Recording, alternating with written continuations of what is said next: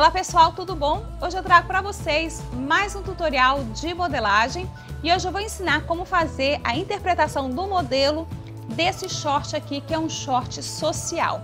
É uma peça super bonita, super estilosa, dá para fazer looks incríveis. Olha como a Vitória tá linda aqui com essa blusa com manga vazada e esse short.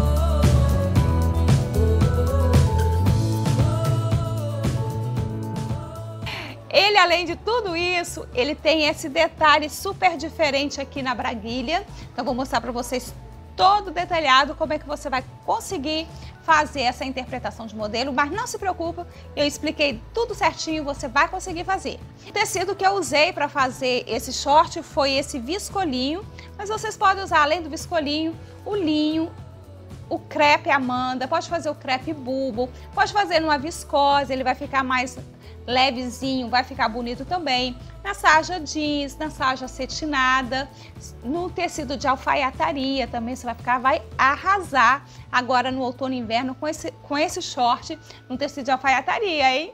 Essa modelagem também, gente, é da minha loja de moldes, que é o clavila.com barra loja e eu deixei aqui na descrição desse vídeo o link para você acessar lá a minha loja e adquirir essa modelagem. Está disponível para compra do tamanho 36 ao 56 para tecido plano. E só lembrando que os moldes lá da minha loja são enviados exclusivamente por e-mail.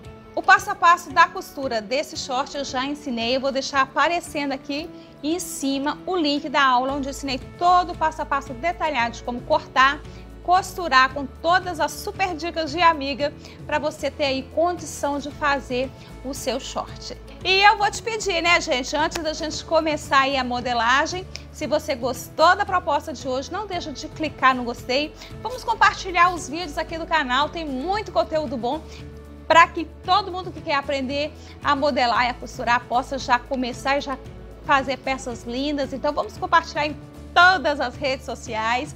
E quem está chegando no meu canal agora, seja muito bem-vindo.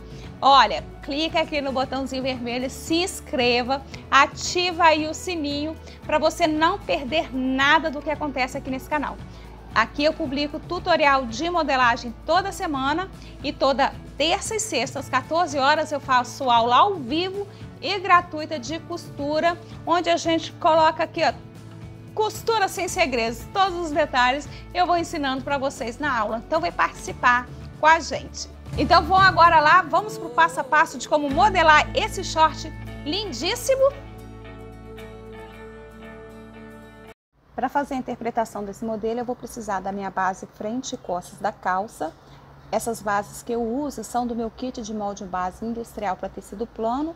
Estão disponíveis para compra lá no meu site, que é o clavila.com.br barra loja. Com essas bases você pode fazer as suas próprias peças, atender as suas clientes no ateliê e produzir lindas peças para vender. Também aqui no meu canal eu ensino a fazer todas as bases sob medida.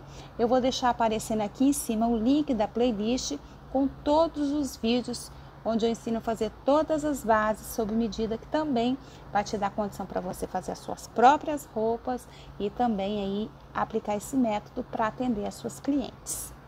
Eu começo a interpretação do modelo pela parte da frente, pego a base da calça e copio o contorno dela. Com a carretilha eu marco a, copio a marcação da linha do quadril, do gancho e a pence.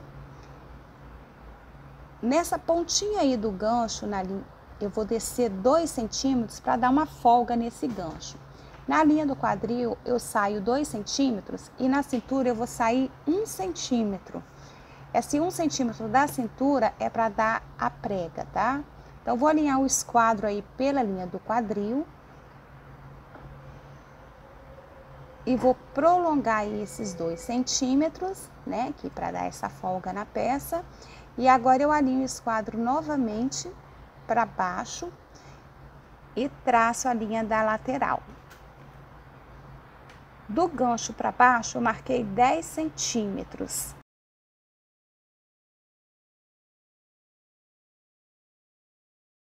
E eu alinho o esquadro na linha do gancho e traço a linha aí do entre pernas até onde eu marquei os 10 centímetros e fecho aí, ó, alinhando pela linha da lateral até tocar ali no meio, fecha aí a barra do short.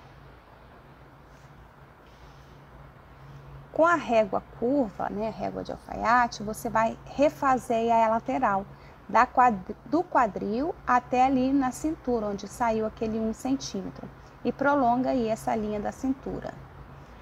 Nessa parte aí do entre pernas, a gente vai entrar um centímetro para ele ficar um pouquinho, né? Entrar um pouquinho, ficar sobrando muito tecido aí. Então, você entra um centímetro aí. Na lateral, você deixa do mesmo jeito. Para fazer o cos, eu desci da cintura para baixo 5 centímetros, fiz esses pontinhos e liguei. Então, essa parte aí de cima vai ser o cos, a gente vai recortar para fazer um cos anatômico. Mas vamos reservar, depois a gente faz esse cos. Aí na lateral eu entrei 3 centímetros, depois eu entrei mais 7 para fazer o bolso. E na linha da lateral para baixo, eu marquei 15 centímetros para ser a abertura do bolso. Então, desse primeiro 3 centímetros até onde eu desci os 15, eu traço uma linha reta que é a boca do bolso. A profundidade do bolso, eu gosto de colocar assim o tamanho da minha mão e ver quanto é que vai dar. Deu uma média de 20, 25 centímetros, que eu uso para fazer profundidade de bolso. Então, vou marcar essa medida lá da cintura para baixo e vou alinhar o meu esquadro aí pela linha do quadril ou pela linha do gancho para traçar essa linha reta. Então ele vai ter essa profundidade aí que eu marquei da minha mão. Aí esquadro a linha, né, pela linha que já tracei e faço o fundo do bolso. Essa partezinha aí do bolso, normalmente a gente faz ela arredondada, né? Então você pega aí a régua, a curva francesa e faz aí, ou faz a mão livre mesmo, esse arredondadozinho aí do fundo do bolso. Então já tem aí, olha, o desenho do bolso, do fundo do bolso. Agora a gente vai pegar um papel e vai copiar esse contorno do bolso, né? Vamos pegar a carretilha e vamos passar aí por cima do desenho que foi feito do bolso. Eu não fiz aí, mas você coloca aí a, o esquadro alinhado pela linha do quadril e faz uma linha reta aí no bolso para ser a, a linha do sentido do fio do tecido, tá? Então, você não esquece de marcar aí no, na hora, gente, vocês me desculpem, eu não marquei, mas tem que marcar. Em outros vídeos aqui do canal eu já mostrei para vocês. Então, dobra esse papel e copia novamente aí esse bolso que foi desenhado, corta, porque um vai ser o fundo do bolso e o outro vai ser a vista. Então, esse daí, ó, você elimina essa partezinha para ser a abertura do bolso. Olha, vai ser assim, na que a gente colocar a mão, vai ficar aquela abertura ali, tá? Agora a gente vai fazer a descida do gancho para ele ficar mais soltinho. Então, aí no meio da frente, aí no meio do gancho, a gente não tinha descido dois centímetros. Então, você vem descendo o molde da base, alinhado pela linha do meio da frente e copia novamente essa parte aí do gancho. É só para descer dois centímetros, para não ficar aquele gancho muito justo, porque o modelinho é um modelinho mais solto, saiu dois centímetros na lateral e faz essa descida aí de 2 centímetros no gancho. Então, a gente tem aí a parte do molde da frente, olha a parte do meio, da barra, da lateral, vai ser essa partezinha aí vai ser cortada porque é a abertura do fundo do bolso. Bom, eu tô colando um papel aí só para facilitar agora para eu fazer o desenho da braguilha, tá? Mas é, só porque eu cortei o, o pós antes, por isso que eu tô colando. Então, da linha do quadril para cima, eu tracei uma linha na diagonal e a distância dessa linha para o meio da frente foi de 9 centímetros. Então, daí para lá tá com 9 centímetros, que é o transpasse que eu vou dar para essa braguilha, é uma braguilha super diferente. E eu vou pegar agora o papel e vou dobrar no meio, bem na linha do meio, tá? porque eu quero que a extensão aí, essa parte da braguilha que ficou bem comprida, ela tem que ter o formato da cintura, para na hora que a gente for costurar ela no outro lado da, né, lado direito da peça, olha, ela tem que fazer esse acompanhamento aí, olha, tá vendo? Ela dá uma subidinha, desce aí no meio, depois sobe de novo, por causa do formato anatômico que tem na frente. Então, olha só, termina de completar aí, ó, para ficar todo certinho, entendeu? É por isso que você tem que dobrar, para a braguilha acompanhar o formato anatômico aí da cintura. Pronto, fez isso, agora recorta, né, onde foi feitas as alterações. Aí na lateral você vai cortar aí, ó, nessa parte por causa da abertura do bolso. Então corta, que a gente já vai deixar essa, essa partezinha para que montar o bolso ter como enfiar a mão, né? essa parte aí da pence, a gente não vai ter pence, vai ter uma prega. Então, como eu saí aquele 1 centímetro lá na cintura, a pence é 3 centímetros, eu vou colocar aí mais um. Então, a gente ficou com uma, uma preguinha aí, olha. Na verdade, eu coloquei quatro aí, a pence é a diferença que tá aí. Então, coloquei, agora a gente vai fazer aí essa preguinha, tá vendo?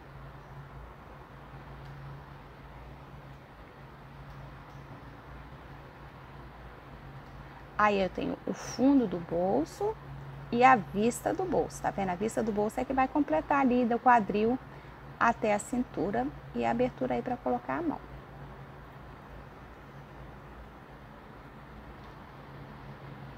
Eu vou copiar essa parte que já está pronta, porque esse molde a gente vai cortar um lado com essa ponta da braguilha atravessando e o outro lado sem ela, porque vai ser do pertingal. Então, copia, copia aí o meio normal ok? E para fora eu, eu, fiz aí esse pertingal aí, que ficou com 4 centímetros por 15 de comprimento. E fiz, aí nessa parte de baixo eu fiz a mão livre mesmo, né? Mas confirmo que ela vai ter a mesma medida lá em cima e lá embaixo. E faz aí essa parte arredondada.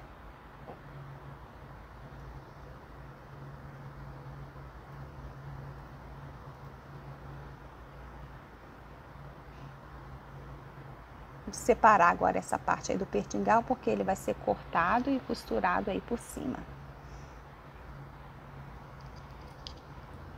Então, eu tenho todas as partes da frente do molde, né?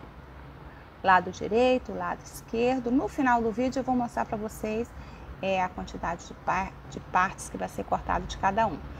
Essa partezinha do pertingal eu vou copiar o desenho dela nessa parte que tem a braguilha aí diferente, tá? Copia para dentro, porque a gente vai ter que fazer a parte do acabamento de dentro dessa braguilha, né? Porque não pode ficar só o tecido assim, na hora que tem, tem que ter a parte de dentro para dar o acabamento. Então, você vai copia, tá vendo a ponta com essa parte aí arredondada. Copia, deixa marcado nela o meio da frente, que na hora da costura vai te ajudar.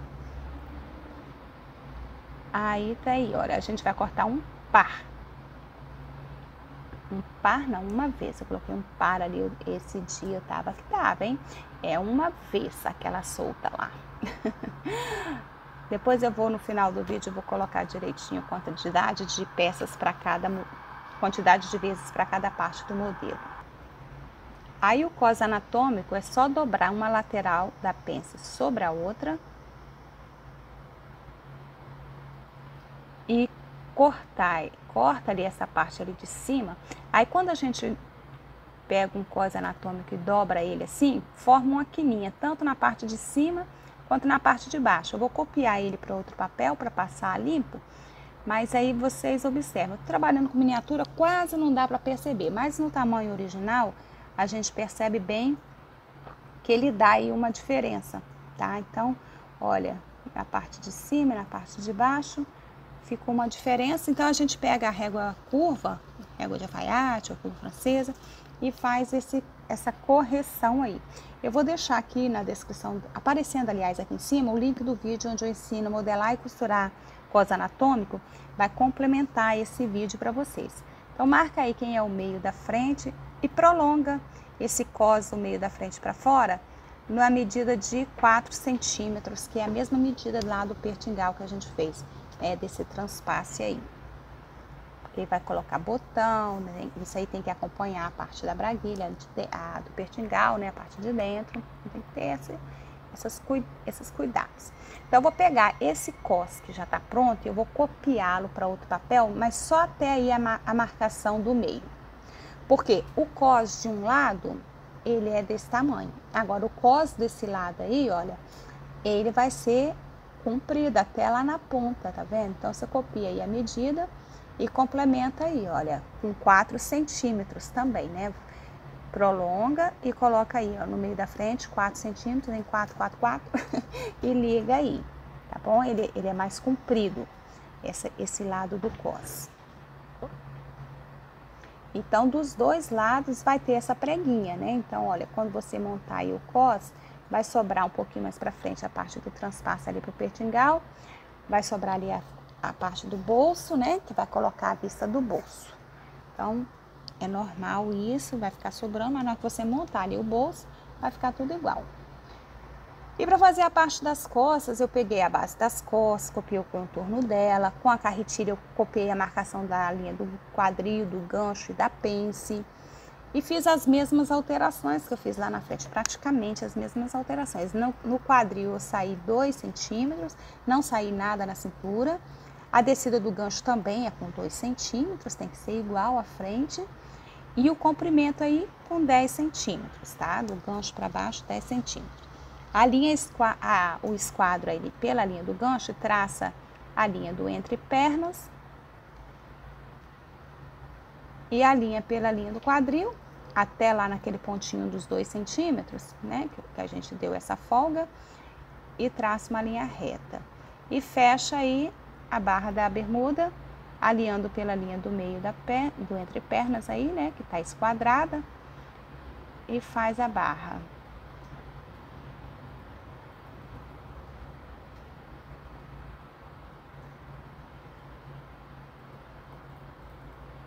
Do quadril à cintura, eu vou pegar a régua de alfaiate e vou refazer. Então, essa eu não saí nada, então é só ligar da cintura original aí da base até a linha do quadril. Aí, no entre pernas, eu vou entrar dois centímetros. Na frente foi um, né?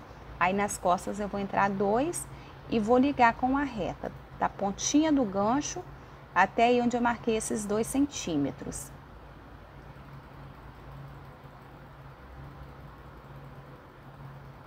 Pronto, da cintura para baixo eu vou marcar a altura do cos, que é 5 centímetros, igual eu fiz lá na frente. Então, venho marcando 5, lico os pontinhos. Vou fazer a descida do gancho do mesmo jeito que eu fiz na frente. Então, eu pego a parte da base, eu desci 2 centímetros já, né? Então, pego a parte da base, alinho pela linha do meio das costas e venho descendo até tocar esse pontinho aí que eu desci 2 centímetros. Aí eu venho e copio, olha, essa parte arredondada do gancho, olha. Copio ela para ficar certinha, é bem fácil, bem tranquilo fazer isso, tá vendo? Então, desci 2 centímetros no gancho lá na frente e 2 centímetros no gancho aqui nas costas. Agora, eu vou cortar esse molde. Então, olha onde eu desci o gancho, onde eu entrei, separa a parte do cos essa pontinha aí da pence a gente vai deixar, porque a gente vai fechar ela lá no, no, no tecido, tá? Então, deixa ela aí que na hora de costurar a gente costura essa pontinha que sobrou.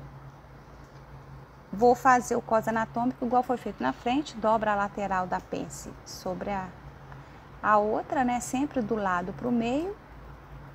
E a mesma coisa, vai ficar uma quininha na parte de cima, na parte de baixo aí você vai copiar para outro papel e vai fazer a correção aí com a régua de alfaiate ou com a curva de francesa.